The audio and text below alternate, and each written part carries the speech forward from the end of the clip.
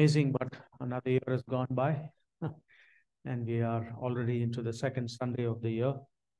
Uh, want to thank Manohar for remembering, and of course the congregation for remembering my wife and me as we celebrate our anniversary.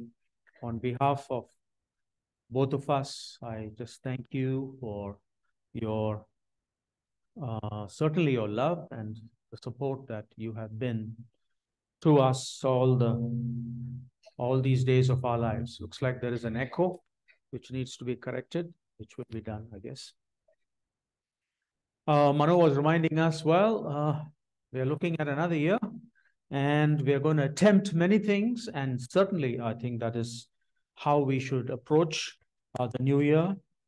Uh, you know, Christ is making everything new. So we want to make everything uh, also move into the newness as we plan. I was talking with uh, our pastor Praveen and our pastor Sachin in uh, Pune, and I've been asking them to um, work out a what we call as an MAP. Uh, that is a Ministry Action Plan 2023. So we are planning to work out various activities, schedule them for 2023, uh, recognizing that the theme for this year uh, from the GCI denomination is on leadership and enhancing and refining leadership so that the leading will be done well. So um, we're looking forward to working out that uh, MAP. And I'm sure many of you might have thoughts uh, we want the leadership team to suggest many things that needs to be done. So uh, do contribute your thoughts and we want to be uh, certainly a loving church expressing the love of Jesus Christ in, in every way possible and also an efficient church uh, making efficient use of all our resources when I say resources, it's not just money and building and time, but also people. And I was uh, very happy to see that Mano was inviting you for testimony. I'm glad that is being included as part of our regular worship.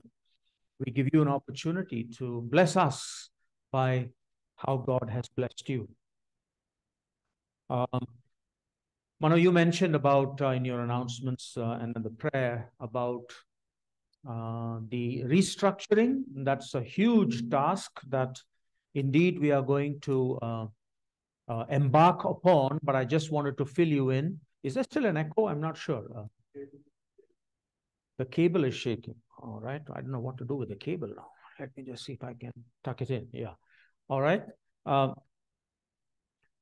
uh, Bertram Azevedo, our trustee in Mumbai, I had a conversation with him and he mentioned to me that uh, was it the fourth when we had the hearing? We had the last hearing in front of the officer of the trust, uh, the charity commissioner's office. And they have now accepted all the documents that we have given. And Bertram said to me that on 20th, we will know for sure if they have accepted everything and they have to pass an order. Once they pass the order, we have, I mean, the, the order will be deletion of the names of trustees who no more belong to GCI have decided to move away from us. We have passed the Red Sea. I think the Lord is opening the Red Sea for us. And now, when we go on to the other side, we have to now look for the promised land. of course, all metaphorical. So we are just uh, looking forward to trudging along and moving forward. And uh, uh, I am, uh, you know, so very grateful.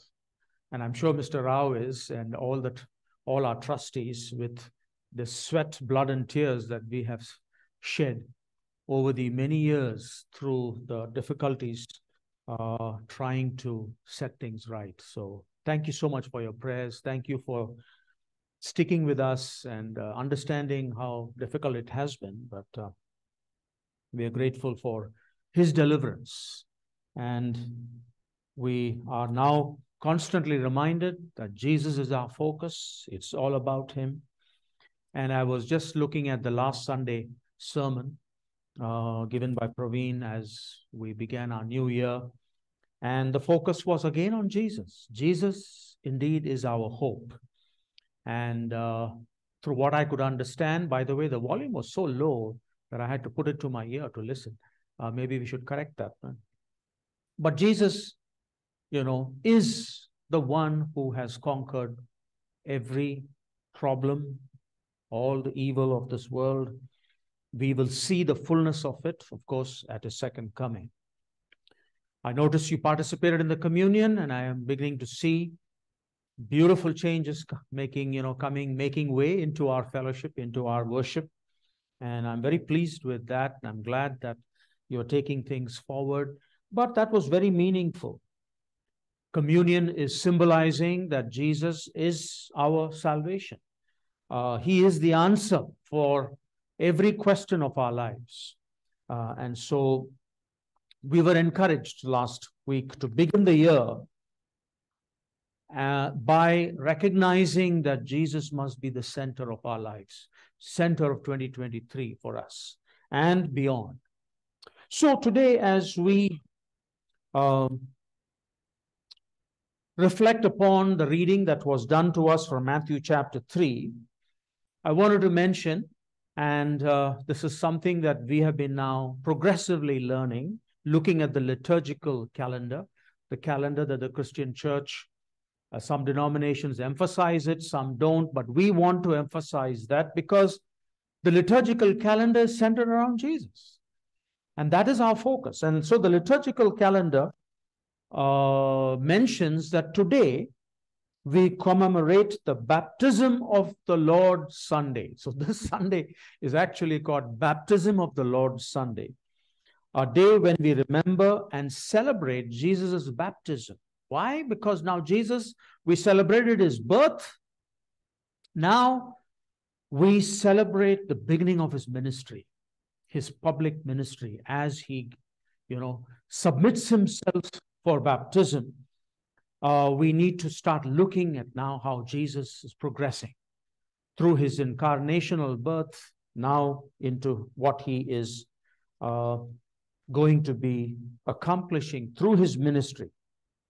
Okay, so the theme for this week or today, you could say, is that Jesus is our righteousness. And that is how I've titled my message Jesus, our righteousness.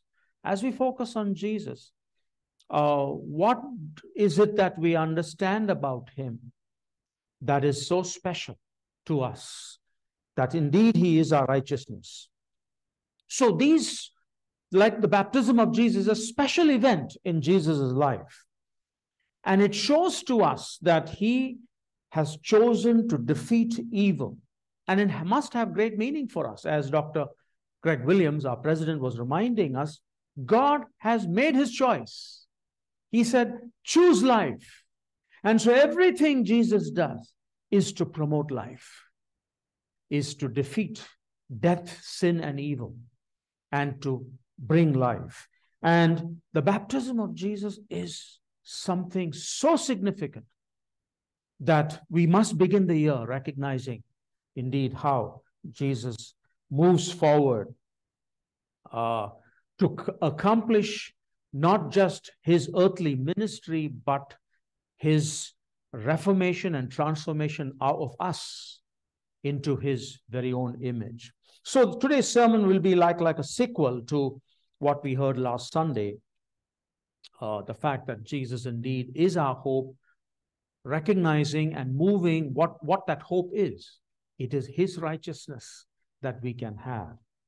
So, baptism of Jesus reveals that hope, especially for us as human beings who are broken we are broken human beings. We struggle every, every single day of our lives with all kinds of issues. Uh, how do we address that? How do we put that into perspective of our Christian lives? Uh, so we need to uh, look at this baptism uh, of that Jesus submitted himself to a little bit more closely. The obvious question is why? Why would Jesus be baptized? Right? And I still remember, I think Mr. Rao and Praveen, and, uh, we had gone to Gudivada some years back, and we were doing, a, a, you know, like a seminar for some of the pastors there. And there was a lady in the group, and uh, we had invited questions. And the question she had asked me was, uh, why did Jesus get baptized? I'm not sure if that's a question that is in your mind. It certainly was in my mind. And when I told her or gave her the answer, as I uh, understand it, she seemed extremely, uh, you know, certainly perturbed. Uh, she was not willing to accept my answer. I think she almost thought I was being heretical, preaching some kind of heresy. So when I told her that Jesus Christ was baptized for us. It was not for himself. He didn't have any sin to be to repent of. He lived a sinless life. But why would he be baptized? And I told her, Jesus was baptized for us, for you and for me.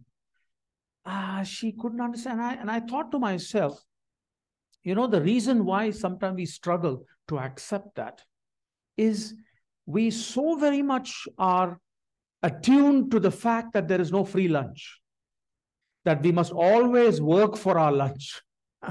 we must always work to get something. We are so focused on our works that I must do something.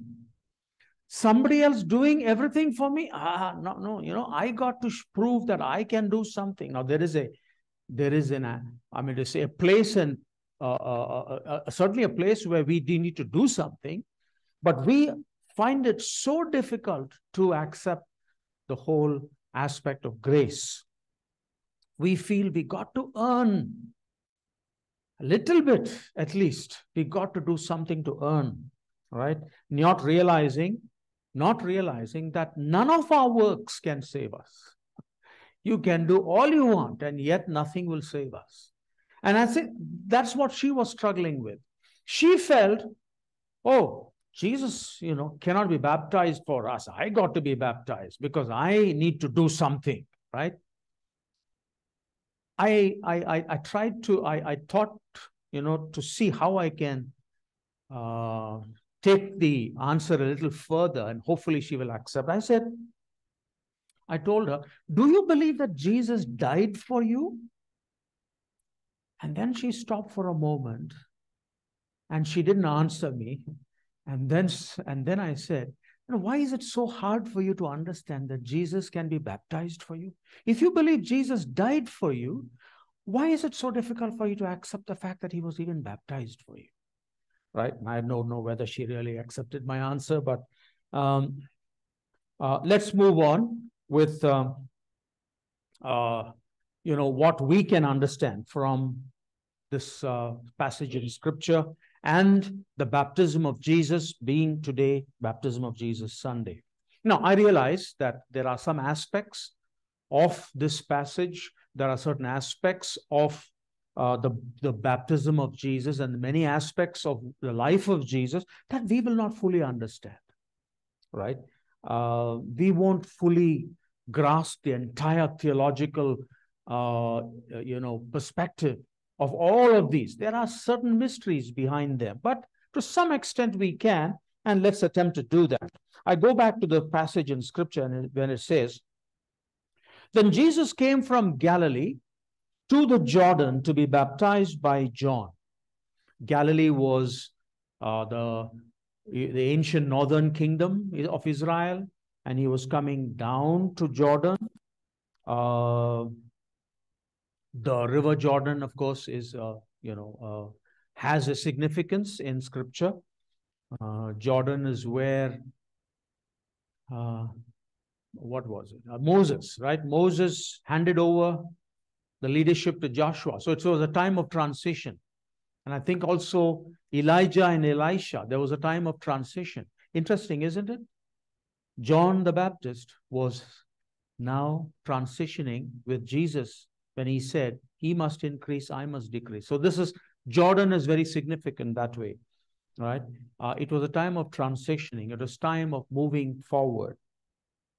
And it goes on to say the scripture, but John tried to deter him, saying, I need to be baptized by you. And do you come to me? I think John was probably in the same boat as this lady that I was talking about. I don't think John understood. John did not fully understand, or probably had the same misunderstanding. Jesus, why would you need baptism? And you're asking me to baptize you? Uh, you don't need baptism. It is I who need baptism. I need to do something, right? I need it. I have to get clean. So John was saying, Why don't you baptize me? And the, in, the, the reply of Jesus is very interesting. Jesus replied, Let it be so now. I'm reading from the NIV. Let it be so now. In other words, uh, Jesus didn't bother to explain. You know, he didn't go into a huge theological discourse to help John understand what it meant, right? Uh, uh, maybe Jesus thought that John would not catch it, catch the nuance of that perspective at that particular moment. And I say that because uh, it's a little consolation for us. You know, there are many things we might not fully understand. And it's okay. As long as we are sincere in our beliefs, as long as we are trying to understand, trying to learn, trying to grow, that's fine. Some things we may be beyond us. I keep getting asked the question, you know, please explain the Trinity. How can three and one be the same? I said, you know, that may be very difficult for us to fully fathom and understand. But that is what the scripture indicates. And so, just a thought uh, I'll mention a bit of a solace for us when we don't understand that. But uh, Jesus goes on to say, It is proper for us to do this to fulfill all righteousness. Now, those words are very important. Jesus told John, Please go ahead and baptize me because it is to fulfill all righteousness. And the interesting thing is, John accepted, John obeyed. And that's what is important that we also, even though we don't understand, we move by obedience obedience to God, obedience to the word of God. Right? What is Jesus saying when he says, This is to fulfill all righteousness? And uh, this is something I would like to dwell uh, just a few moments on. What Jesus is helping us recognize is that God is the source of all righteousness, right? In other words, there is no true righteousness apart from Him. All righteousness is of God. He is love. He is good. Nothing else is. Now, He makes something good, but all goodness and righteousness is in Him. And so, Jesus says, I you must do this so as to fulfill all righteousness. Perhaps I'll let me use some more words uh, to explain this. Righteousness is not, doesn't come from us. We can't manufacture it, right? We can't work to get it.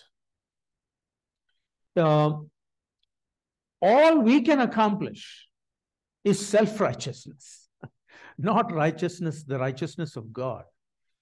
We are very good at being self righteous.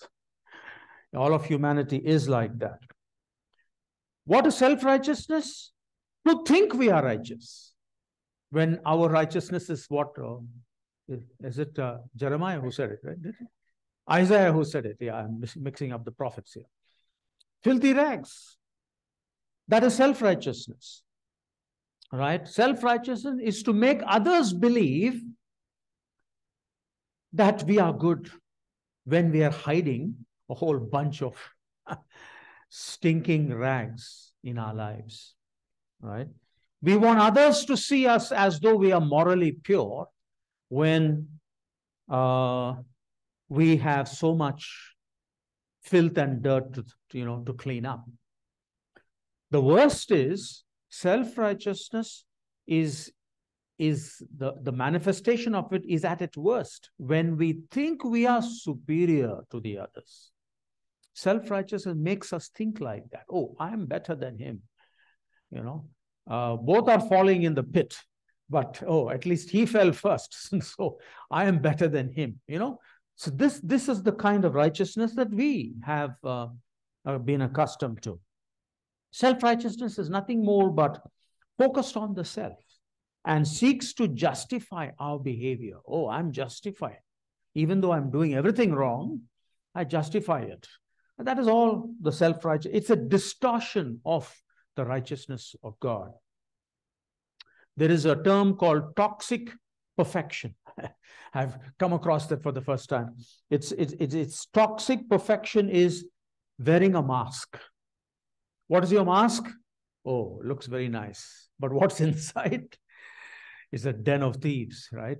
It's like what Jesus said about graves. You whitewash them, but inside are dead men bones. Wearing a mask to protect ourselves, uh, or rather, uh, you know, uh, to, to make others believe that we are so morally good while we remain in bondage to our sins. Uh, and it's toxic because we are still in bondage. It is eating away into us, it is corrupting us, and we don't recognize it. But we are projecting a perfectionist image while the toxin inside is completely uh, ruining us. Right? And because of that, we suffer guilt, we suffer shame, uh, uh, and all of those things. But Jesus is saying, John baptized me, for it is proper to do this to fulfill all righteousness. What is Jesus saying to fulfill when he says to fulfill all righteousness? Jesus basically means that he is taking the burden of making us righteous because he knows we cannot make ourselves righteous. He has taken the burden to make us righteous.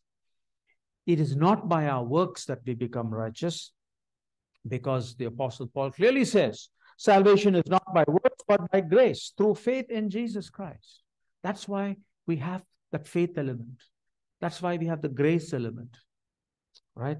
That is where Jesus is able to fulfill all righteousness. He is making us righteous.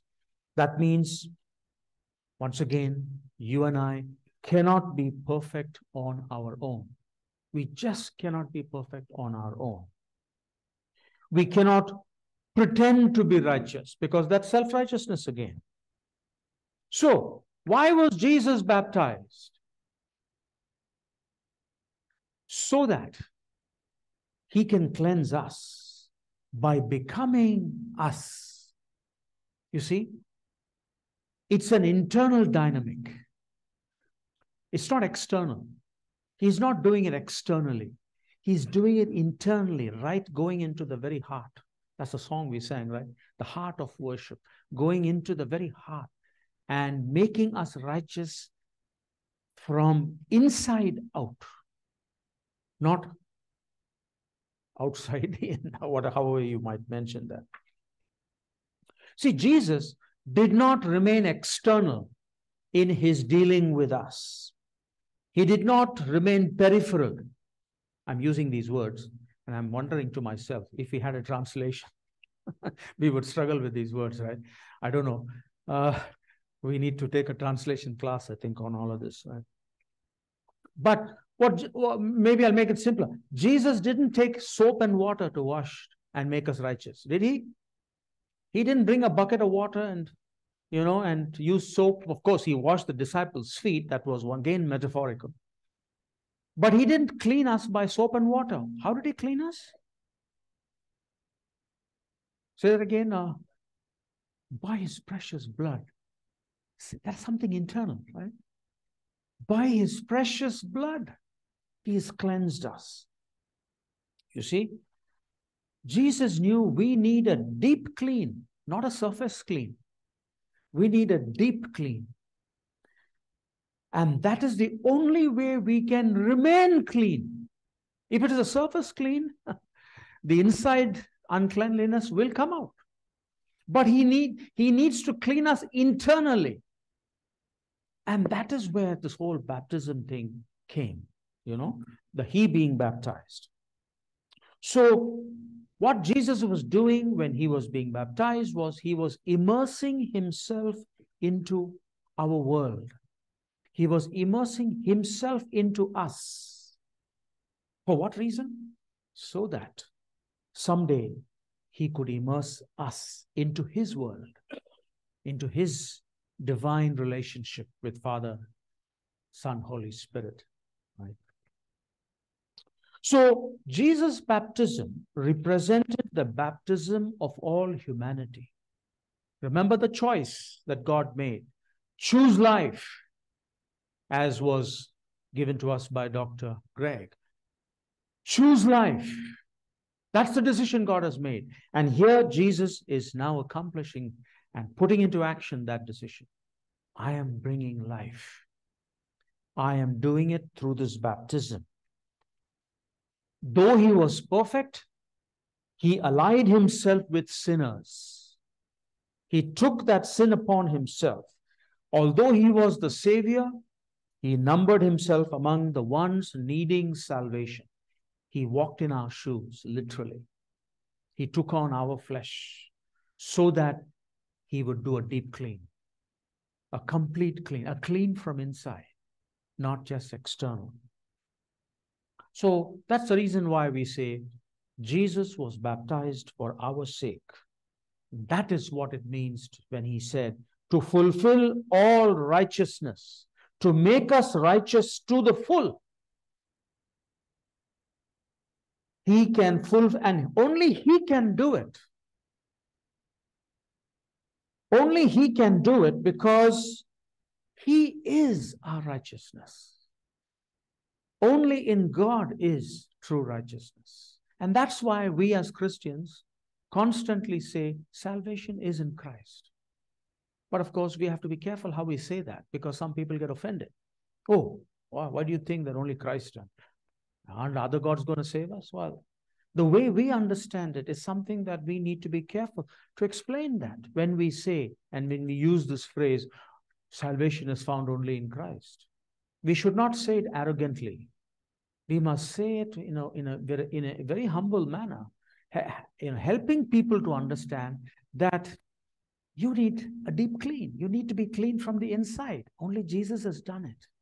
I have no I don't know who else has done it because he came in the flesh and took my sinful person and cleansed it deep inside. Now, another obvious question. Okay. Do I have a part in all of this? What's my part? What should I do?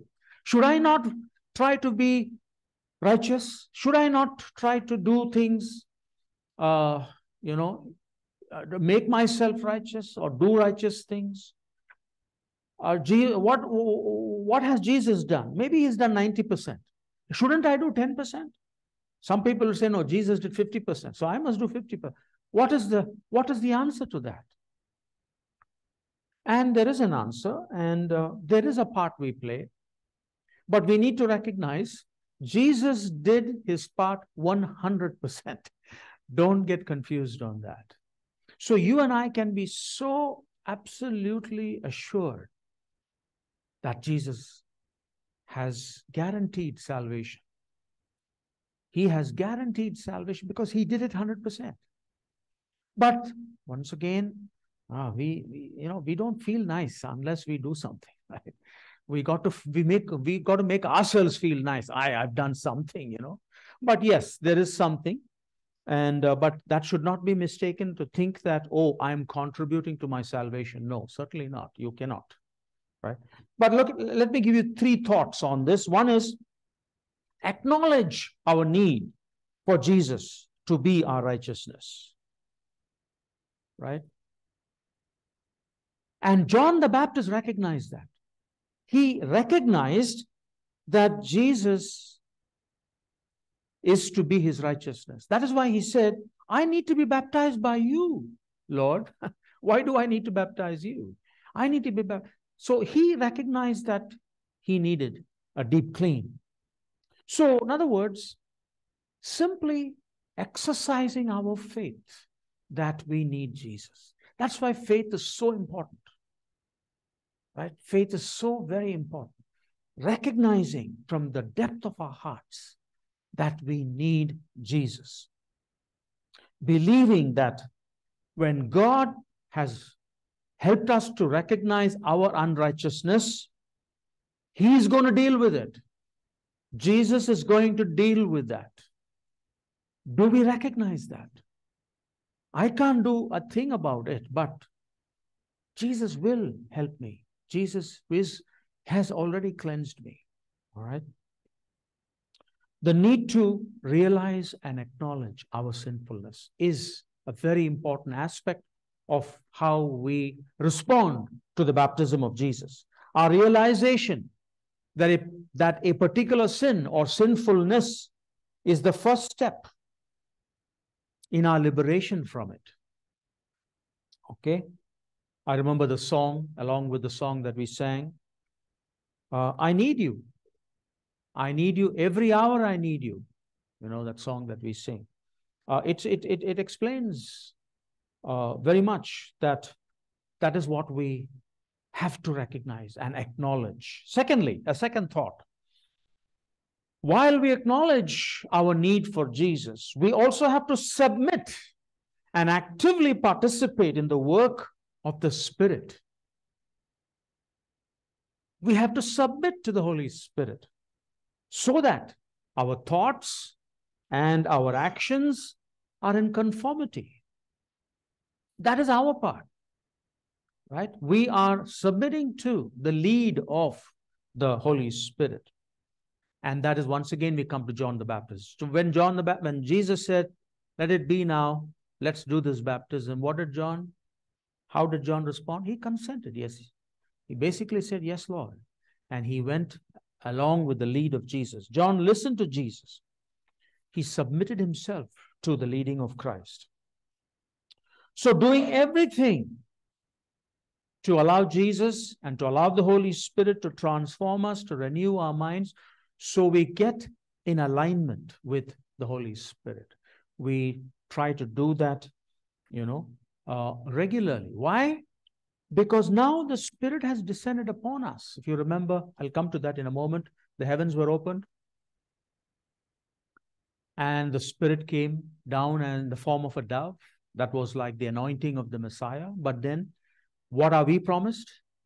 The Spirit will come upon us, right? Uh, why would the Spirit come upon us? Because the Spirit now continues to do the work of Jesus. What Jesus has started, the Spirit now, that's the ministry of the Holy Spirit today, as uh, He uh, leads us into righteousness. And finally, a third thought I'd like to leave you with make room for God in our daily lives. Right? While we submit we don't do it as a one time, you know, uh, thing and then forget about it. No, we are doing it on a daily basis, making room for God and the Holy Spirit in our daily lives, in our daily activities. You see, we are moving towards God. We need to move towards God. If you remember how Adam and Eve were told, you know, uh, leave your father and mother, be joined together. Move towards each other. You cannot be joined if you're not moving towards each other. If you're moving away from each other, you cannot be joined. If you're moving away from the Holy Spirit, you cannot be. You know, you cannot make room for the Holy Spirit. So you have to move towards God. And that would mean certain spiritual disciplines like what we are doing today coming for worship, listening to the message, and uh, participating in worship, you know, uh, prayer, uh, the, the the learning and the understanding and uh, you know that we do regularly in our bible studies in our daily devotions all of those are aspects of moving towards god they don't make you you know uh, uh create righteousness but when you move towards god god you know uh, gives you his righteousness in a greater degree so our christian walk is a full-time walk no part-time business here Uh, we don't believe in part time jobs, part time Christians. It has to be a full time thing. You know, everything we do, everything we do should be guided by and inspired of the Holy Spirit.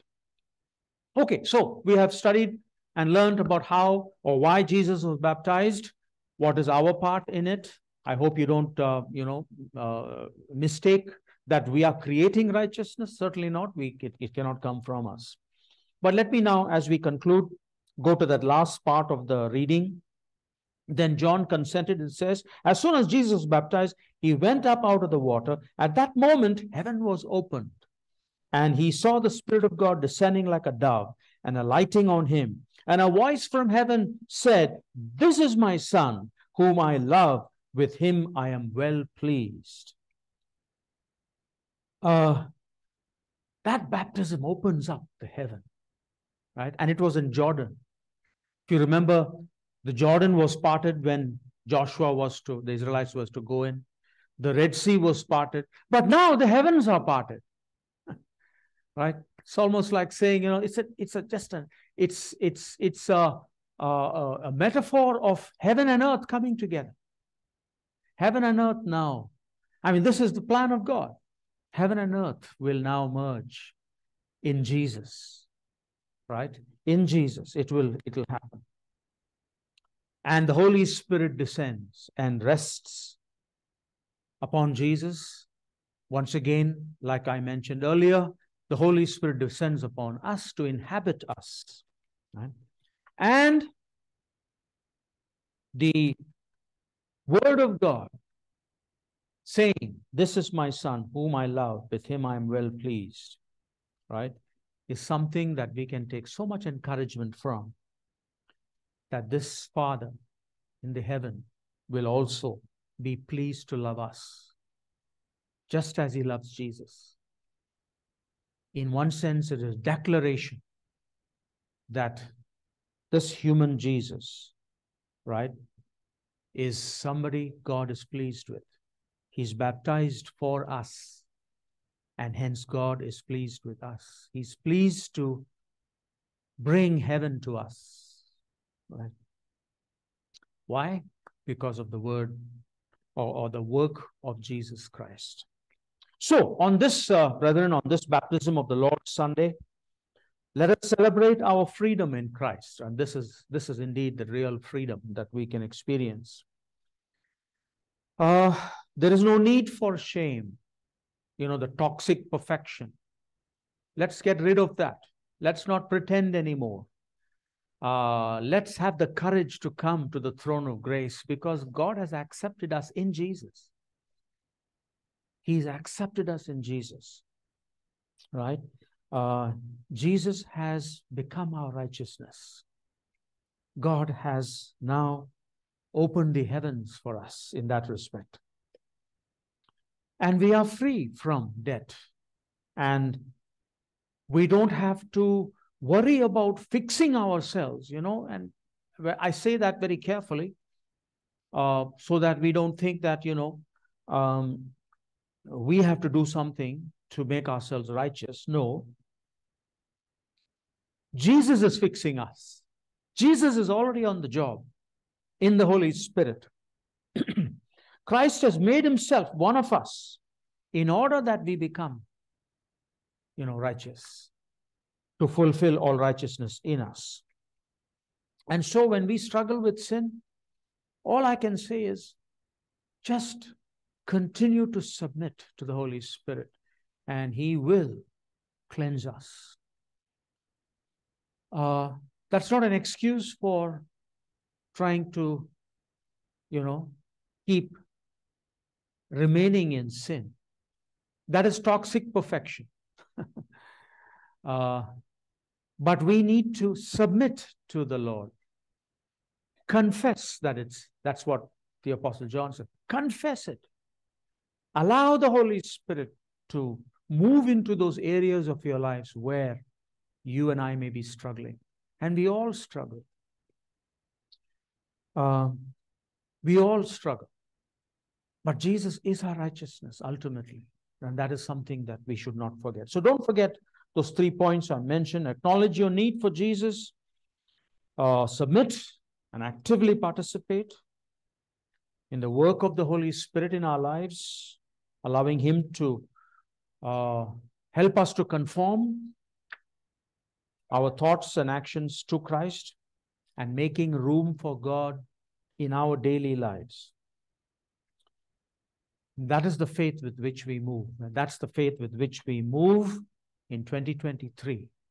Eyes on, eyes focused on Jesus, knowing He's our righteousness and He will finish the work that He started in us. Don't abandon Him because He will never abandon you. Let's participate in the communion then as uh, uh, we recognize how much Jesus is our focus and the communion brings it all together. I'm going to read uh, this time from John chapter 6 so that we recognize the communion and the righteousness that we just spoke about coming together.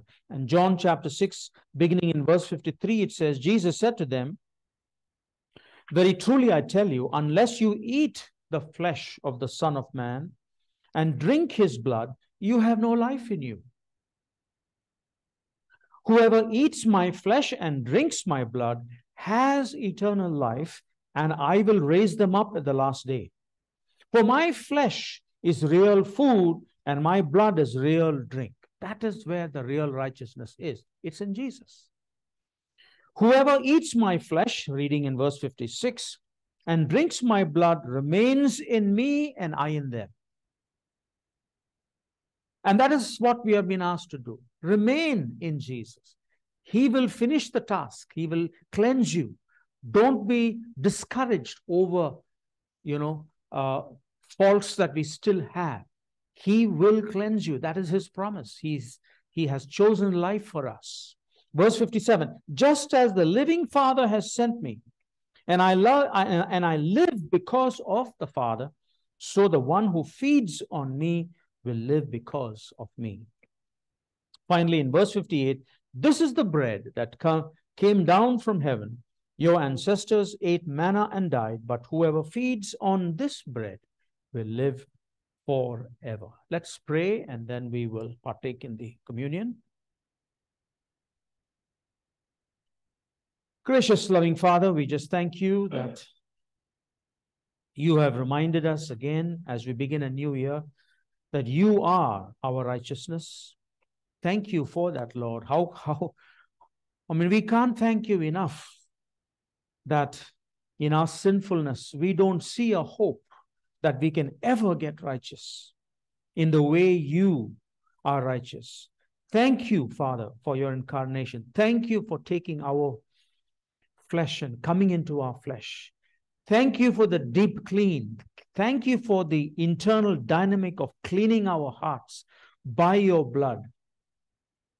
And help us as we participate in this bread and wine, symbolizing your broken body for us and your righteousness, even as we sang that we see your love in your broken body going on to the cross in the shed, shed blood that, that you gave for us. Thank you, Father.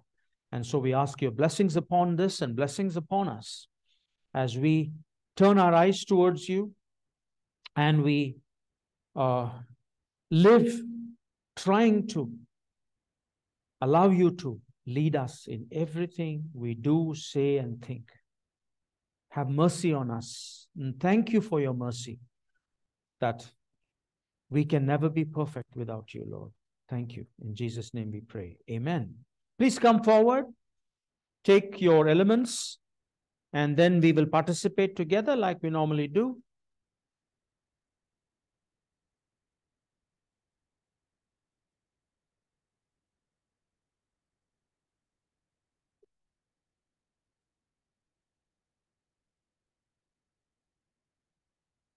Thank you.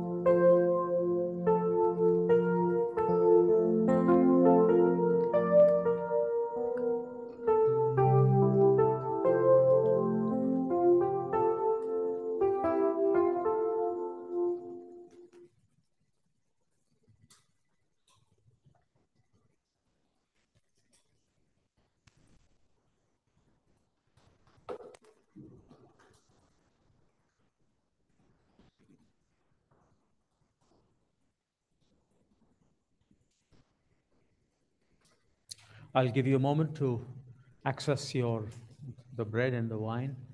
Uh.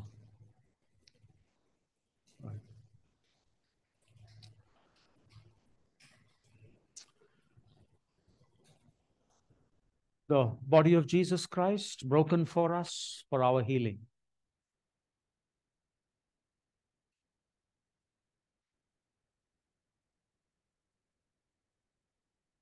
The blood of Jesus Christ shed for us so that we might have his righteousness.